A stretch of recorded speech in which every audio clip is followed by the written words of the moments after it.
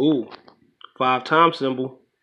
Things are starting to heat up. That's the first symbol on ticket number 11. And um, I got all these left to go. You know what I'm saying? Ticket number 11. Whew.